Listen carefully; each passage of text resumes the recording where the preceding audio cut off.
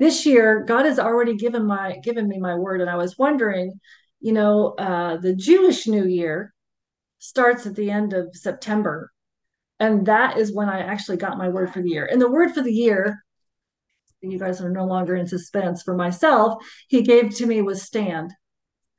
Um, and I found that so interesting. But I made an acronym out of it and um, for each letter of this of this stand so s equals spirit. And we were just talking about it. Our power does not we're not in our own power okay? It's not by our might not by our power but it is by our by the spirit says the lord. So we are standing in the spirit with the spirit okay? Um t uh, is a, du- a duality talked about a little bit already is testimony and truth. So we are standing by our words, our testimony. We are sharing our testimony. We're sharing what God did. We're sharing what He did on the cross. We're sharing what He's done for us. And we are sharing um, truth. So we're standing in truth, standing in our testimony. So that's T. And, and what is truth? Truth is Jesus. He is the way, the truth, and the life. So we're standing for that. And the Spirit leads us into all truth. And it's the Word of God. The Word is actual life. The Word is God, John 1 1. We're standing for Him and in Him. A equals authority slash action. To stand is active. Standing is not not active.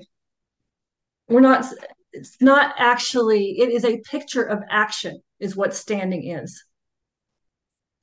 And you have to be taking that action to have the authority.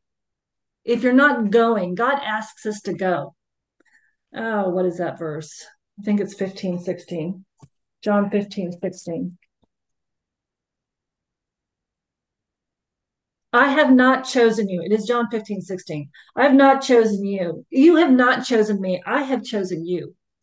And I have cho- and I have ordained you that you should go and bring forth fruit, bring forth fruit, and that your fruit should remain.